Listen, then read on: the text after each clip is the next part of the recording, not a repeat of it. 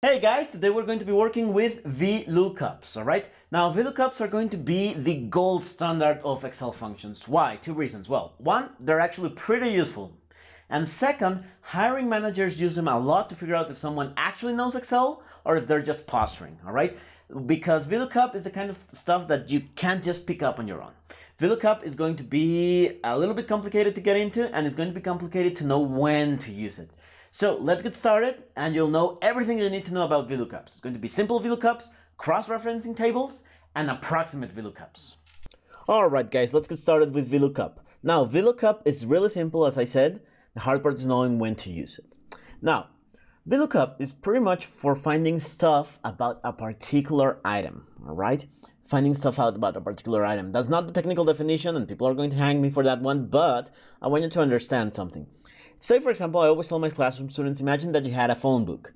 Now, if I give you a name and I give you the phone book, you could come back with the phone number of that person, all right? Now, that search that you just did in real life is pretty much the equivalent of what VLOOKUP does, does in Excel, all right? Now, VLOOKUP stands for vertical lookup. So right now, right here, I have a part number, K22613. And using VLOOKUP, I could find out the price, the seller, or the warranty. Why?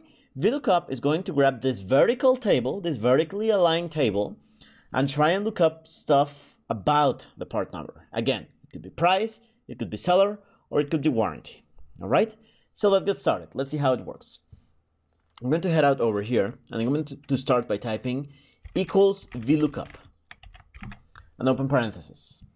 All right, guys. So uh, once I open the parenthesis, I'm going to head up here to where it says insert function and I'm going to open up the function arguments window. All right, now this is just for when we're starting out. So you know the helper, I mean the VLOOKUP helper, what's going to be about. Now, VLOOKUP is composed of four different arguments, the lookup value, table array, col index num, and range lookup. Let's go through each of them. The lookup value is what it is that we're starting with, all right? The initial value, the one that was given to us.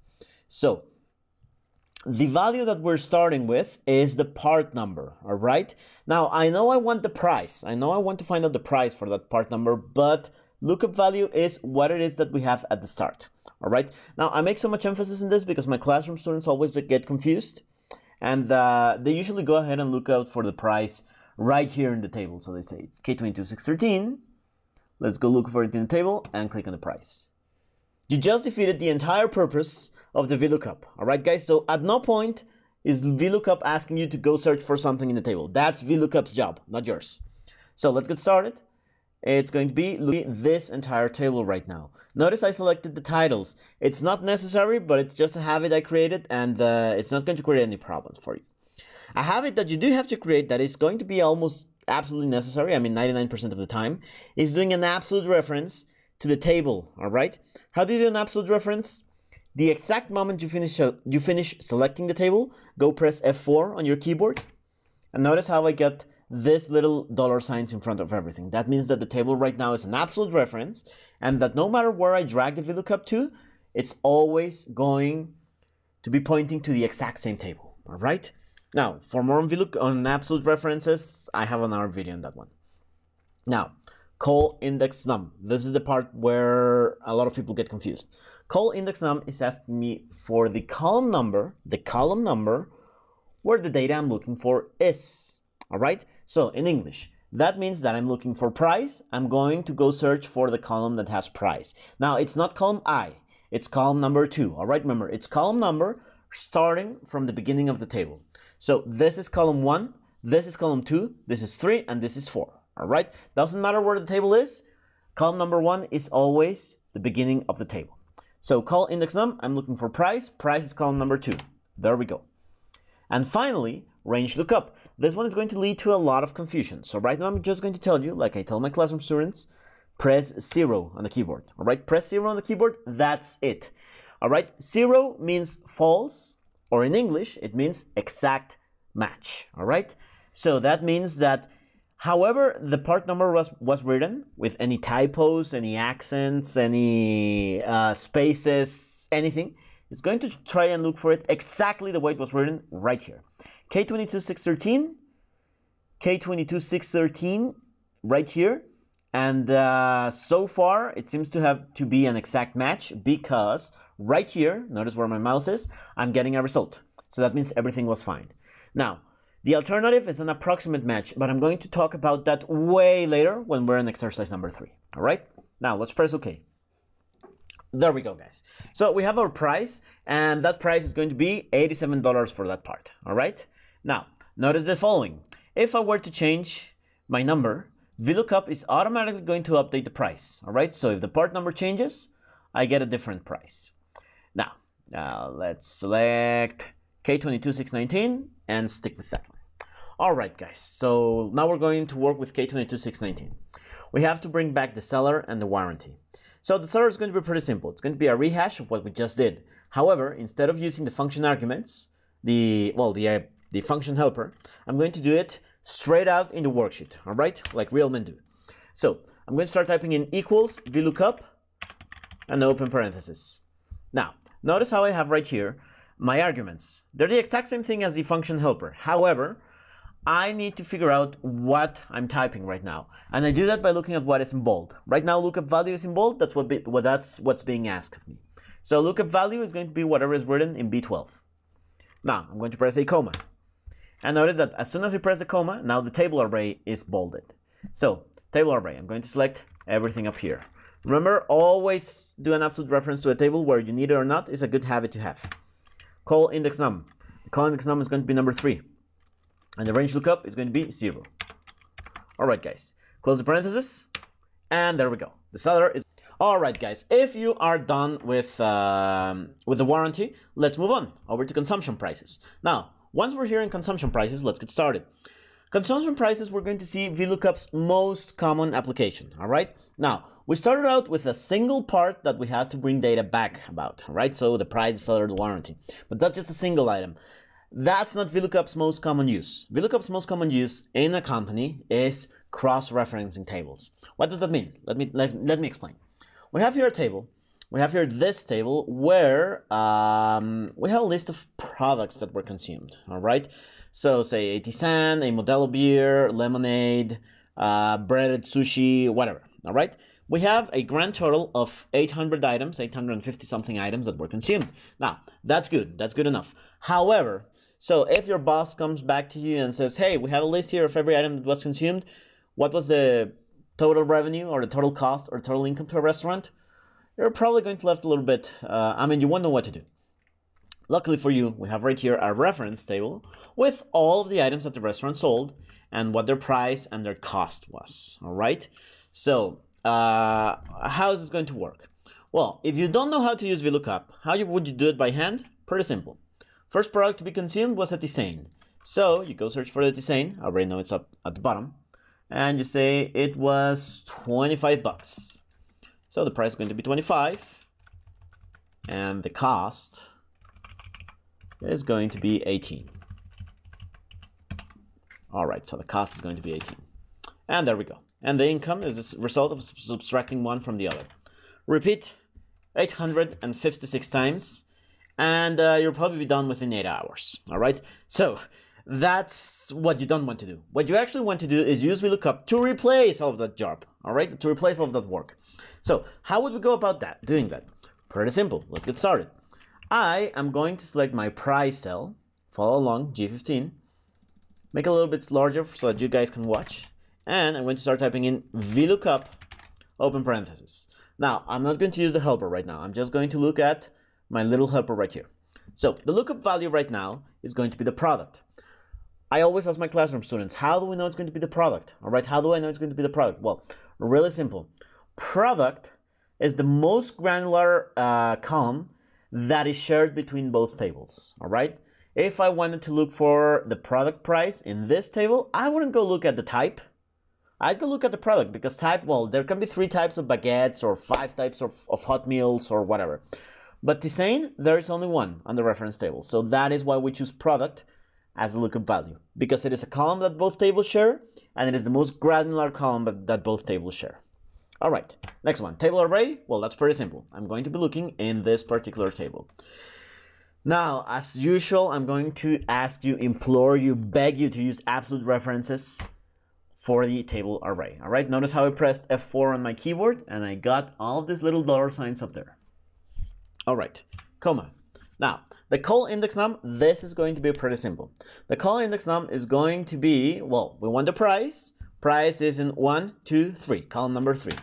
All right, and finally, the range lookup, we're still doing exact matches. All right, for exact match, it's either false or zero. Now Sensin explained to you what approximate matches are. They need their own topic. We're going to look at later on taxes and rates. All right, guys. With that, I'm going to close my parenthesis and press enter. And we get the price. All right, we got the price. Now, I'm going to autofill everything from this row on down. All right. Now, notice, notice I got all my numbers correct. Why? Well, VLOOKUP works, but mostly it's because I did an absolute reference on this table. If I hadn't done an absolute reference on the table, here, let me show you what's going to happen if I hadn't done that. I am going to get a bunch of screwy numbers. So far, so good. It seems to be working, but as soon as I go down, notice how it gets all of these errors, all the NAs. Why? Well, let's look at an NA. Notice how the table is already moved. Why? Because I didn't do my absolute reference, all right? Without the absolute references, the lookup table is going to move is going to be moving along with my formula and I don't want that. Again, absolute references are their own topic, a topic of their own, and I cover that in another video. All right, guys, so let's get back here. Now, if you feel uh, confident enough, you can try the cost on your own or you can follow along with me. All right, cost. It's going to be really simple. Let's make me let's make this a little bit larger so you can watch. All right, VLOOKUP, open parenthesis. Uh, I'm just let me make this a little bit larger. Sorry, guys. All right. VLOOKUP, open parenthesis. The lookup value being once more the product. The lookup array being this menu table, again, absolute reference.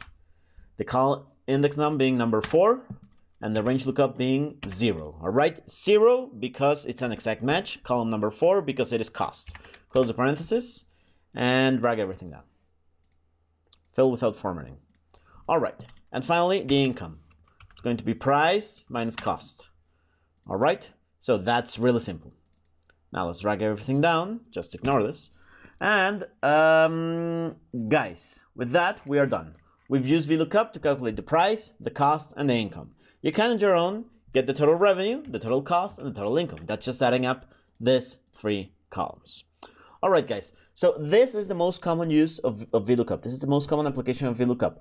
Eight times out of 10 when you're using VLOOKUP is going to be to cross-reference tables, all right? What do we mean by cross-referencing tables? We need to fill up one table with data that is uh, with data that is in another. That's it, all right? You try to do that by hand, it's going to take you like eight hours. You try to do that with VLOOKUP, well, I just did six minutes and I was explaining it to you. All right. Without the explanation and everything, you should do it in like less than a minute. All right. And finally, last but definitely not least, uh, approximate VLOOKUP. All right. Approximate VLOOKUP is not what you think it is. Exact match VLOOKUP is pretty straightforward. It's really simple, really straightforward. VLOOKUP is going to search exactly for whatever it is that, that you're looking for. Approximate match is not searching for something that looks like it. All right, let me explain. A hundred and well, no, let's search for I don't know, eighty grand a year. All right, eighty thousand dollars a year. I know that, if, that you if you're in New York, that's poverty level, but whatever. So if I'm earning eighty thousand dollars a year, according to this tax table, which is not true, I should be getting charged thirty-two percent income tax rate. Okay. However, Let's do a VLOOKUP to try and figure out what my income tax rate would be. Let me make it a little bit larger. And let's start. VLOOKUP, where the lookup value is this 80 grand. The table array is this one. Always absolute reference. And the col index num is number 3, all right? Because I want the tax rate, and the tax rate is in column 1, 2, 3, all right? Now, for range lookup, I'm going to do an exact match. You know it's going to be wrong, but I just want to show you why. All right, so 0, exact match. Close the parenthesis. And there we go. I get a big fat NA back. Why? Because exact match means that it's going to be looking for $80,000 somewhere here and it's not going to find them, all right? At no point, there is no value here worth $80,000. Okay, now let's do the following. Let's do an approximate match. I'm going to correct this. I'm going to delete this zero and type in one. One means true, one means approximate match. Close the parenthesis and press enter. All right, I got an answer back. Why? Why did I get that answer back? Well, the approximate match, what it does is it does some sort of ranged lookup. What does this mean? Notice how, he, how here I have ranges. From 0 to $496, you pay 2% tax rate. And from $62,000 to 250 grand, you pay 32% tax rate. All right? So VLOOKUP searches within those ranges.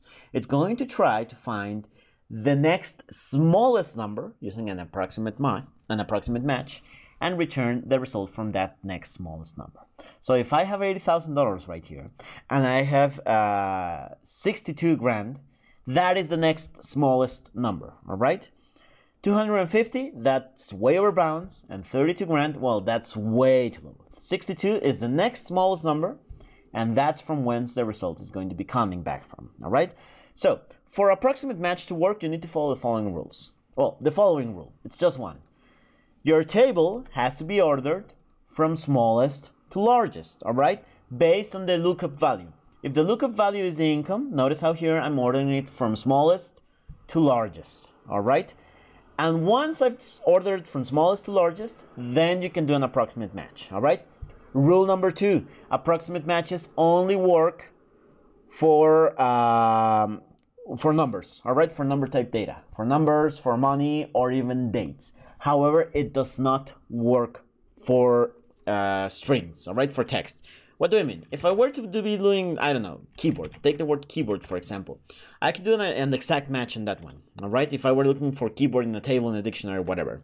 Most people think approximate match is going to enable Excel to do something like, if I had a typo, keyboard, like this, that approximate match is going to enable Excel to look for something similar to keyboard like KY board. That is not the case. That is not even remotely near to the case. Approximate match is going to be searching for the next smallest value in a table that is ordered from smallest to largest, all right? So that is what approximate match does. Do, are you going to need approximate match in your life? Probably not. A lot of you guys are never, ever, ever going to touch approximate match. However, it is useful in replacing if the if function. Uh, more on that, we'll cover more on that way later on. And uh, it is useful if you're working with ranges, say, for example, salary ranges or statistical ranges or whatever, anything that comes in ranges. Yeah, you're going to need an approximate match. But say, for example, you're an accountant or you're in finance or you're in HR. I mean, a lot of people that I know have gotten way fine along in their professional careers without knowing approximate match. All right? Well, guys, that's it about VLOOKUP. One last item that I want to note about VLOOKUP before closing the video is notice the following. In all three examples, the lookup value was at the beginning of the table. It's always the first column of the table, and that's a rule you can't get around, okay? So the part number, first column of the table. The product, first column of the reference table. The salary, first column of the reference table, all right? So if your VLOOKUP is not whatever it is that you're looking for, all right, guys? That is the one rule that you have to follow. And with that, yeah, we're done with, with VLOOKUPs. Guys, I hope you enjoyed the video. Make sure you like, subscribe, leave a comment. Anything works. And uh, I'll see you in the next video. Do you want to be an Excel god? Our online course will turn you into an Excel master in only 90 days. Excel is the most important tool in the office, but almost nobody knows how to use it. Most people dive right into Excel with no formal training and never use the right tools. And thus, they end up delivering mess reports that are full of mistakes and they end up hating their jobs. In reality, Excel is really simple to use and can do your job for you, if you know how to use it. But you have to pick the right place to learn from, or you'll only end up more confused with all of the different tools and functions that Excel has to offer you. So, what can you do? Our Excel course is tailor-made for you. We're going to teach you Excel, all of Excel, using real-life examples. From simple exercises to full-fledged business case studies. Take the online course and you'll be an Excel god in only 90 days. The course consists in more than 45 lessons and 15 case studies, all with their detailed solutions completely recorded in video, and you're going to be able to access them whenever you want, whatever you want. Best of all, you're going to have lifetime access to the course, and you're going to get any of the updates that we're constantly putting out for free. Even better, when you get our course, you'll have free access to our full Visual Basic and Macros course, and also to our Power BI course all with just one single purchase. More than 3,000 students have passed through our classrooms. We've attended companies like Kodak, IBM, Cemex, HP, Continental, DB Schenker, and more. So, if you want to absolutely master Excel, make sure that you sign up now. You will become an Excel guy. A2 Excel.